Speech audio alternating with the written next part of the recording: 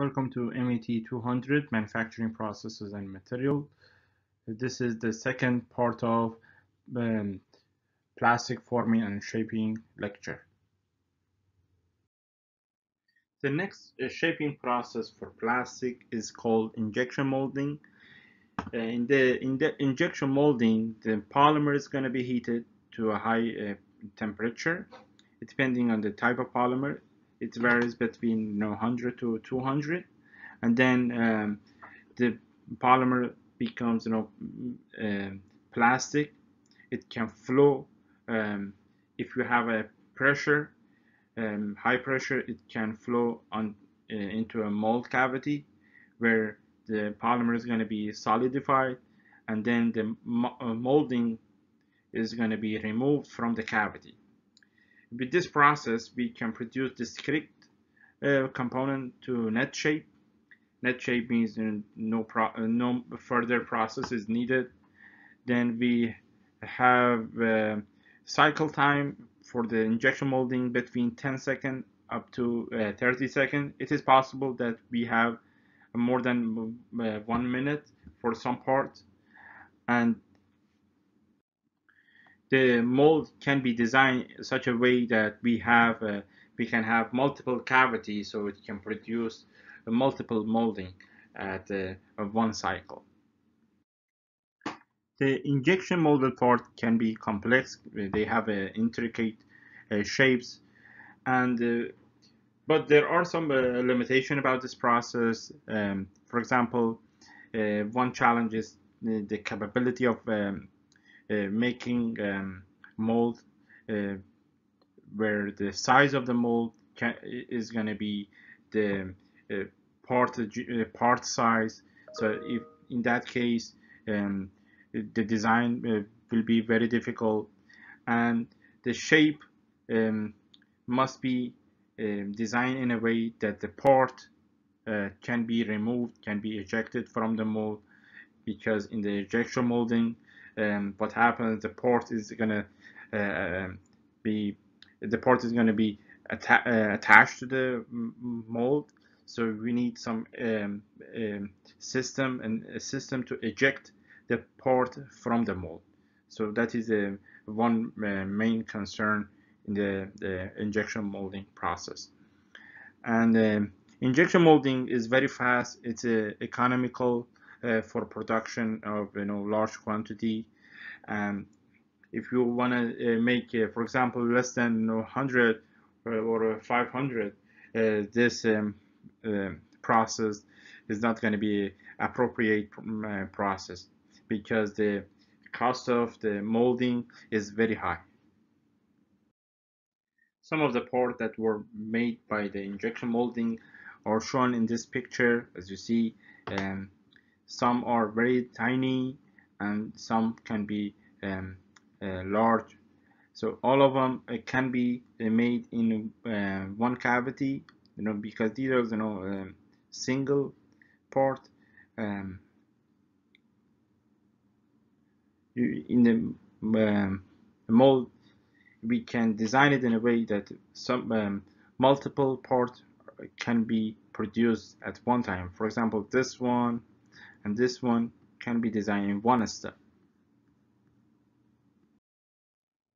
For the injection molding process, mostly we use um, thermoplastic material. As we mentioned before, we have three, um, two main category, uh, thermoplastic and thermoset. Um, but rubber material is it can be considered somehow um, thermoset material. Uh, injection molding is mostly designed for the thermoplastic, but there are some cases that we, uh, thermoset and elastomer are uh, in, uh, um, are used uh, for this uh, process. if um, thermoset and elastomer um, are, are used in, in the injection molding, some modification ha has to be take, taken into consideration because um, there might be some uh, premature, you know, cross-linking. As you know, in the thermoset, uh, if we have cross-linking, that uh, material is already uh, become um, solid, then uh, it will be difficult to um, shape it. Injection molding machine has two uh, main components. It's uh, the, first one is called injection unit, which is this uh, part, and the next part is uh, called clamping unit, which is this part. The injection unit melts and delivers a polymer melt, and then uh, it also uh, operates as an extruder. It delivers material to the clamping unit. In the clamping unit, we have a mold mm, which opens and closes and the, part is going to be um, made at this uh, section. In this uh, picture you see the one actual machine and this is a very large machine you know because you see this person standing next to the machine and um, so you can get some uh, idea how back how big that uh, machine is and the the, um, the capacity as you see here it says you know 3000 uh, ton. In the injection unit this part um, we have a barrel fit up here. Uh, that um, contains you know uh, supply uh, like a plastic pellet and then inside the barrel we have a screw that has two functions. It rotates and then it mixes the material because um, uh, we have a heater so heater will melt the material and then it can be mixed. Uh, the next uh, uh, function of the screw is that it can work as a uh, ram so it can inject the molten plastic into the mold which is the this right side of this machine this system.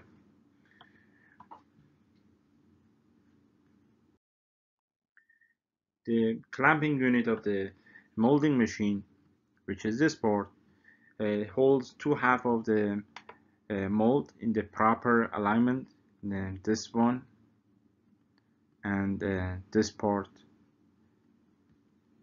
And these are uh, the two half of the mold and when it is closed uh, the material will be um, delivered into the mold and the part uh, will be solidified or that uh, plastic part is going to be solidified. Then the mold is going to be open. The part will be ejected from the mold.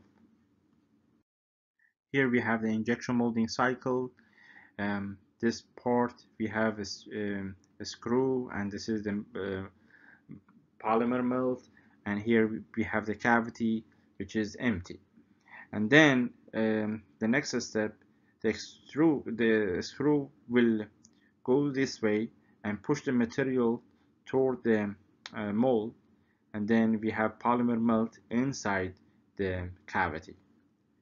Then the screw is going to be retracted. It goes back then solidification happens inside the uh, mold. And then the mold is going to be uh, the molding will be ejected from the uh, mold. Um, polymers like other material they have ex expansion coefficient and their expansion coefficient uh, can affect you know, the process during cooling because uh, we have shrinkage and this shrinkage has to be taken uh, into the consideration. Here we have a list of material um, starting from nylon. As you see a typical shrinkage for nylon is 1.5 for uh, polyethylene the shrinkage is more. It's about you know 4 percent. For PVC and uh, for polystyrene the shrinkage is uh, lower point, about uh, 0.5 percent since we have a shrinkage in the polymers um, we need to calculate the total amount of shrinkage and uh, based on the those uh, calculations we can calculate we can design the mold cavity. Here is the equation that we use. Um, DC is the dimension of cavity, this one. DP is the molded part design, uh, that, uh, the molded part uh, dimension. S is the shrinkage value, and uh, here the shrinkage has to be multiplied by the amount of molded part, and then it gets uh, to the power of 2 again has to be multiplied by the molded uh, part dimension. Then finally you have the uh, the dimension of cavity. There are several factors that can affect uh, the amount of shrinkage in polymers. The first one is um, filler material. Filler um, tend to reduce the shrinkage in polymers. Next is injection uh, pressure, the amount of pressure. If you apply uh, higher pressure uh, during uh, injection process, uh, it can reduce um, shrinkage also. A compaction time, which is the time where uh, the pressure is going to be applied during injection. If that time goes up, if you have a longer time, um, again, we can reduce uh, shrinkage. Molding temperature. If the molding temperature is higher because it um, can uh, increase the temperature of the polymer melt. So the viscosity is going to be lower. It flows you know better. Then it will allow material to be packed uh, into the mold easier. And then uh, finally it reduces shrinkage. Now we want to go over several uh, processes, several molding processes uh, with the plastic material. The first one is called uh, compression molding. This is a, a, a very uh, common uh, type, type of molding process that is designed for thermoset uh, plastic and with this uh, process we can make a rubber tire and um, polymer matrix you know composite part. And the raw material can be uh, in form of um, powder or pellet uh, as well as a liquid or preform. In this process we have the charge, as you see in the this is schematic the first figure. We have charges right uh, located in the uh, mold. Then um, the mold is going to be heated up as well as you know um, applying some pressure as you see here. When apply when we heat up the part it's going to be melted and at the same time we apply uh, pressure after a certain time the part is going to be solidified and in the this step you see the part is ready then it's going to be ejected from the mold and it's uh, going to be used for the pro uh, for the next step. Some of the material that we use in uh, compression molding is are listed here. Phenolic uh, melamine um, ure uh, formaldehyde epoxy elastomers urethane. And the products can um, vary from electric uh, plugs up to dinnerware you know plates and so on. The next polymer shaping process is blow molding. This is a process that we use air pressure to inflate um, polymers or plastic into the mold cavity. This process we have um, one no plastic part and it, the plastic part will take will pick up the shape of um, mold cavity based on the um, air pressure that we blow inside that polymer. And this process is used for beverage um, in high production and um, the cost uh, is uh, low because of that reason. It has um, a good demand. And we have um, two steps generally. The first step is called um, making a parison or another way to say starting tube. Then the next part is inflation of that tube into a desired you know shape. So the shape uh, can vary from one part to another. Based on um, the type of forming there are two um, category. One is called extrusion and one is uh, injection molding. So let's look at these processes.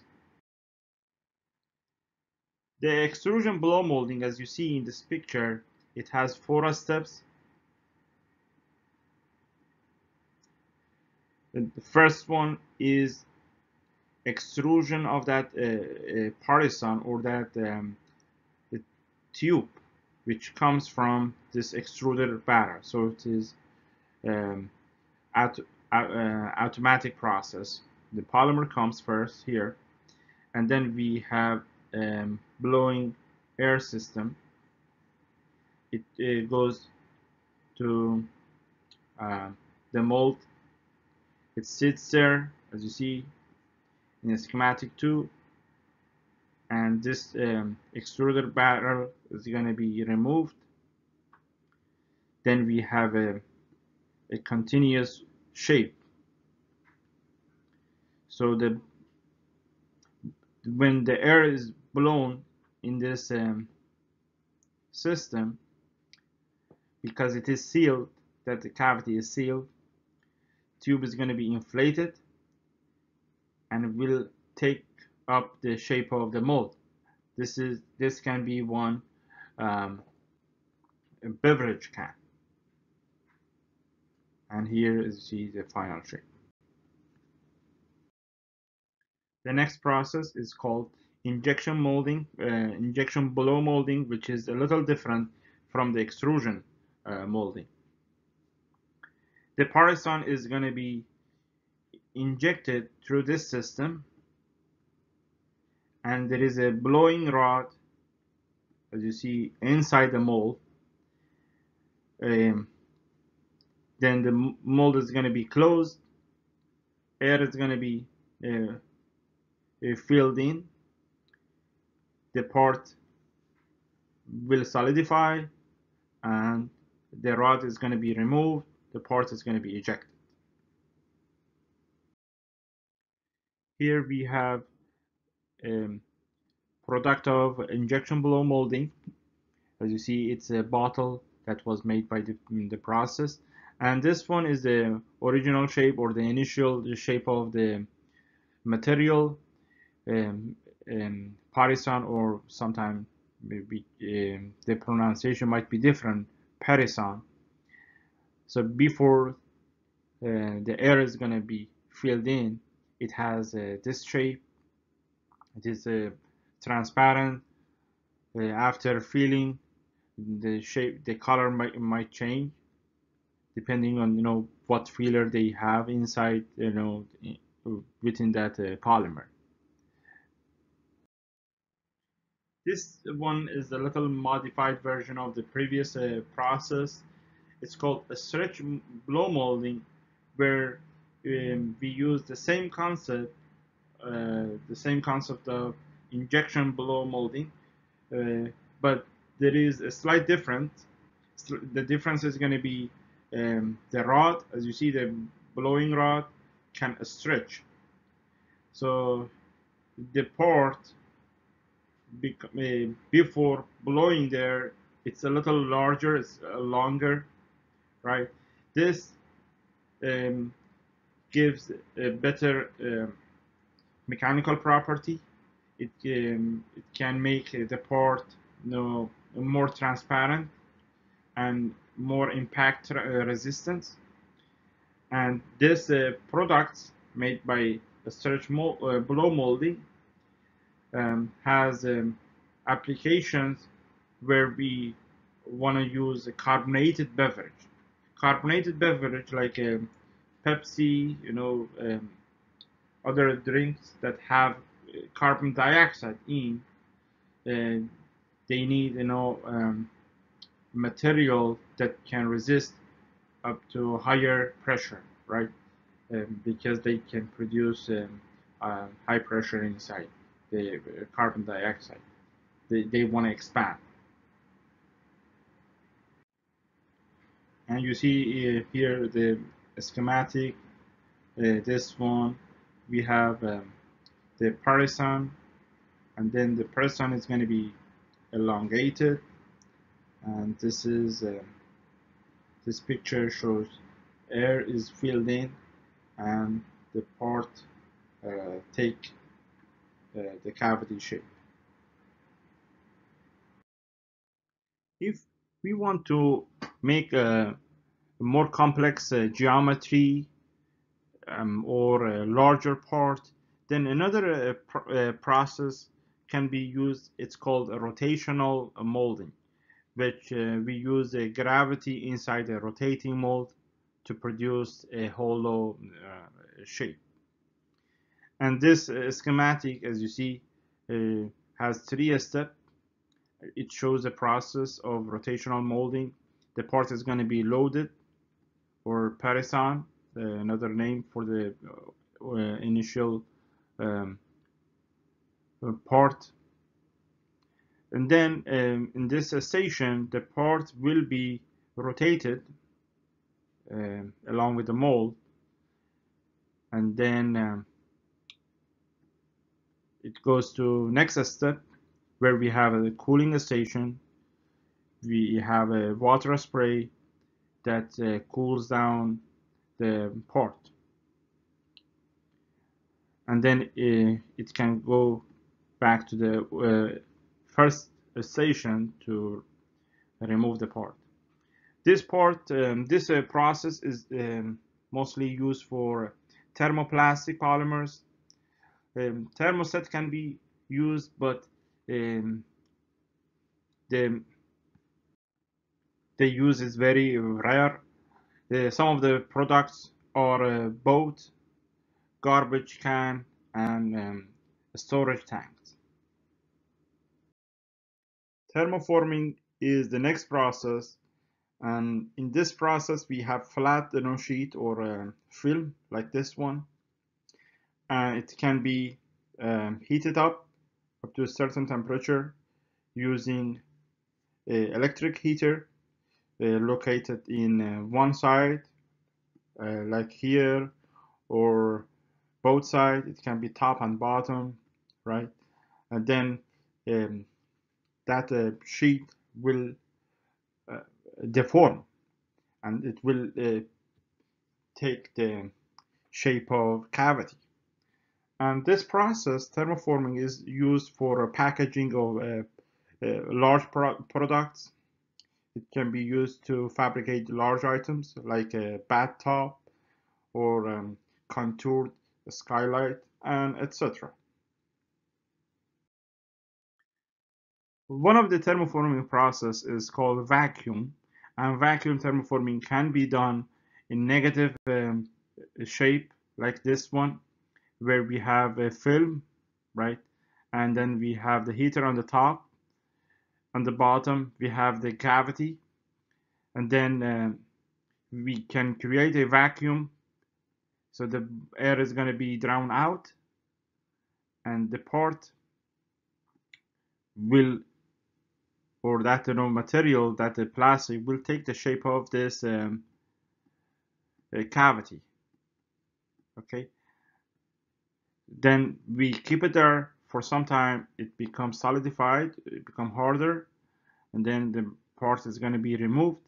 And if uh, some uh, um, cutting is needed then uh, the part will be uh, trimmed off from the uh, web. Vacuum thermoforming can be done with a positive mold. As you see in this picture, we have a, a mold with positive shape and the film is located up here. Uh, it can be heated up with the electric heater. Then uh, the clamp uh, this clamp is going to be lowered and it's going to be positioned on top of this uh, mold. Then um, the sheet will cover the mold. The air is going to be vacuum and the, molten um, or the polymer melt will take this uh, shape.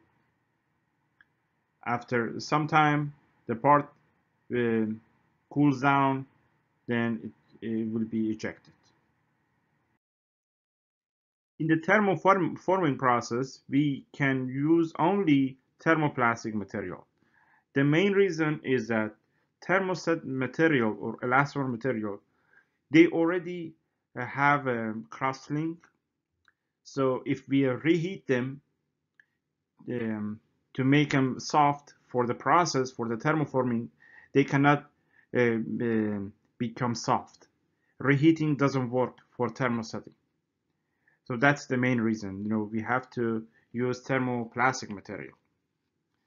Some of the uh, thermoplastic polymer we use in the thermoforming process is uh, polystyrene, um, cellulose acetate, ABS, PVC, and etc. There are a lot of applications for thermoforming.